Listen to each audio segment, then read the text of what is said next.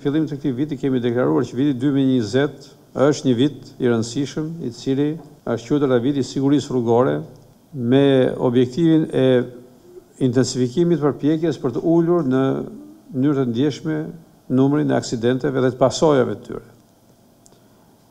Për fat mirë, duhet thënë, për fat mirë, duhet thënë që treguesit këtë vit janë pozitivë për një sërë arsyesh, ku sigurisht puna e mirë e policisë është njëra nga arsyet. Ne kemi ende një koeficient të lartë humbje të jetës njerëzore në raport me me vendet e Bashkimit Europian. Sigurisht Bashkimi Europian është zona më e sigurt në botë sa i përket sigurisë rrugore, se ka standardet më të larta në këtë fushë.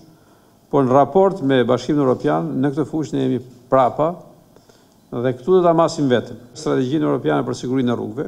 Do të shihni se ajo ka tetë indikatorë. I pari merret me shpejtësinë, mat se sa është përqindja e mjeteve që nuk respektojnë limitet e shpejtësisë dhe ndjek këtë tregues. Ky është një tregues që duhet ndjekur. Çfarë tendence ka ky tregues? Po rritet numri i atyre që e tejkalojnë apo po ulet? Si e masim këtë?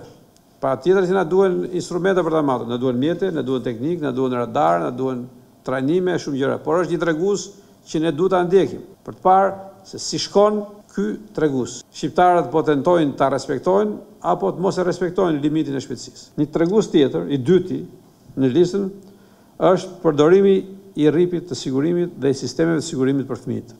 Është po ashtu një ndër kontribuuesit kryesorë, mosmbajtja e këtyre sistemeve të sigurimit për të rritur apo për fëmijë është një ndër shkaqet dhe faktorët kryesorë në rritjen e fataliteteve dhe të pasojave. Sa i përket fëmijëve, neglizhencat janë alarmante. Shkeljet janë masive. Papërgjegjshmëria është e rëndë. Ende nuk kemi arritur të përcjellim këtë mesazh fort te qytetarët e këtij vendi. Jeta e fëmijëve ka vlerë më shumë sesa jeta jonë. Fëmijët duhet ruajtur me përparësi dhe vendosja e sistemeve të sigurisë për fëmijët në gjithë llojet e automjeteve është detyrim ligjor dhe nuk duhet lejuar kurrsesi abuzimi këtu dhe toleranca këtu është me pasoja vrastare. Çështje tjetër e rëndësishme dhe është ky është KPI treshi në në strategjinë europiane është ai që ka të bëjë me masat mbrojtëse për çiklistët dhe motoçiklistët. Mungesa e mjeteve mbrojtëse për çiklistët dhe motoçiklistët është burim i madh i fataliteteve dhe i aksidenteve të tjera. Tashi nuk duhet t'ju them se si është kjo gjendje në Shqipëri. E dini më mirë se unë sepse i shihni përditë se si udhëtohet në Shqipëri në biçikletë apo në motoçikletë. Gjendja në këtë fushë është e rëndë. Një pjesë e madhe as nuk e kanë gjëkund të shkruar në në koshiencën e tyre që kur blen biçikletën, duhet të blesh dhe pajisjet mbrojtëse që duhen për të hypur në të. Ata tashmë duhet të përdorin rrugët e dedikuara dhe jo aty ku është rruga e dedikuar të dalin krah tjetër, sepse është ngushtuar hapësira në përdorim të automjeteve tashmë dhe është dhënë hapësirë për çiklistët. Po tashti çiklistët nuk mund të futen në zonën e ngushtuar të automjeteve, sepse rëndojnë trafikun dhe rrisin Mundësitë e aksidenteve, KPI-ja katër, ose indikatori i katërt i performancës sipas Bashkimit Europian është përdorimi i alkoolit, përqindja e shoferëve që përdorin alkool mbetet ende i lartë edhe shifrat tuaja tregojnë që me gjithë masat, me gjithë ndëshkimet mbetet i lartë ky tregus dhe ky tregus duhet ulur. dhe duhet ulur në mënyrë të përqendruar duke e orientuar punën tonë aty ku risku është më i lartë.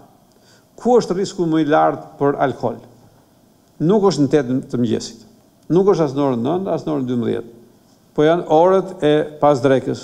Ku janë vendet kryesore ku mblidhen ata që mëkatojnë në fushën e alkoolit? Lokalet e natës, restorantet etj me radhë. Dhe duhet që puna të orientohet këtu. Tjetër është i pesti, sipas kësaj strategjisë europiane, është përdorimi i pajisjeve çorientuese ose pajisjeve elektronike të dorës, të cilat shpërqendrojnë ose pajisjeve shpërqendruese, po i them, në makinë.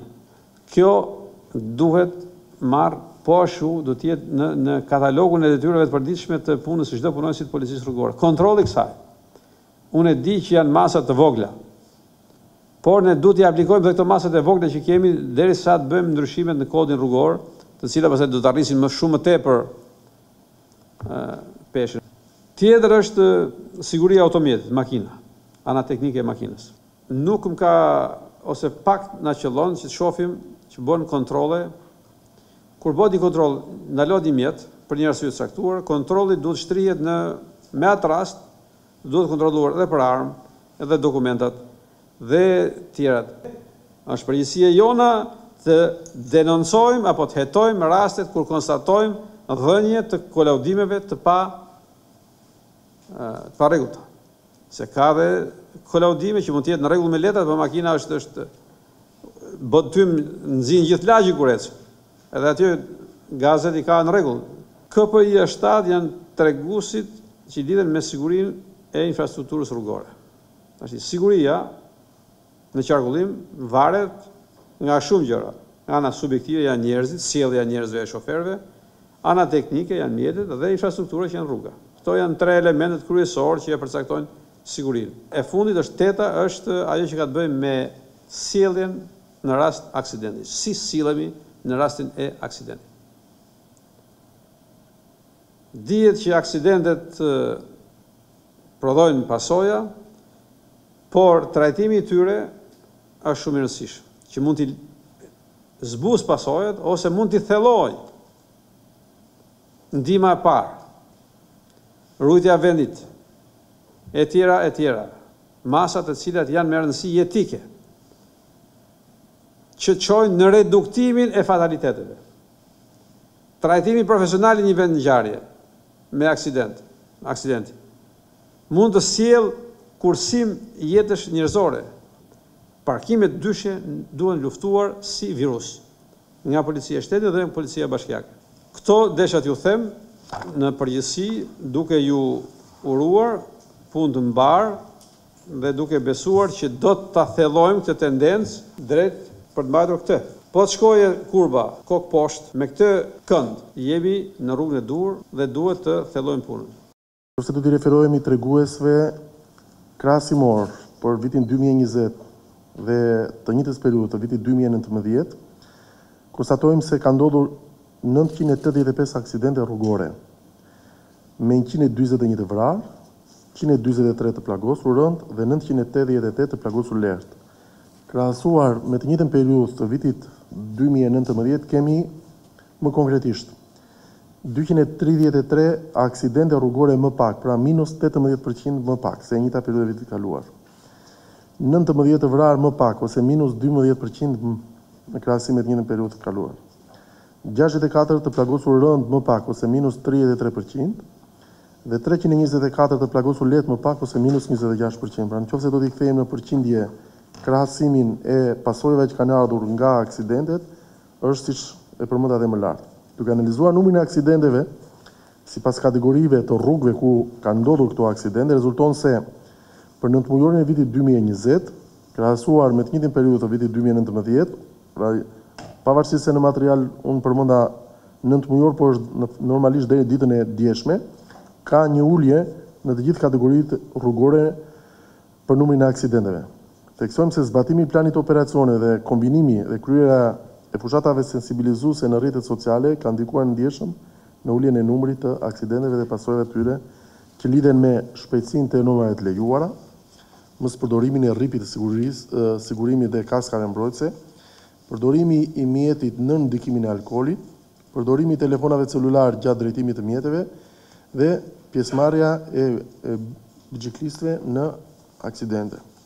Veç gërshetimit të promocionit që ne kemi bërë në rrjetet sociale në në këtë ulje në këtë Në numrin e aksidenteve ka ndikuar edhe aplikimi i Tispolit, i cili pothuaj është zhvilluar në të njëjtin kohë dhe në me të njëjtin program në të gjithë vendin, bazuar në një program të hartuar nga Departamenti i Sigurisë dhe nga Drejtoria e Policisë Rrugore për shkelje të veçanta, të cilat janë edhe burim kryesor i aksidenteve me pasoja qoftë fatale në humbjen e jetëve të njerëzve por qoftë edhe në dëmet materiale.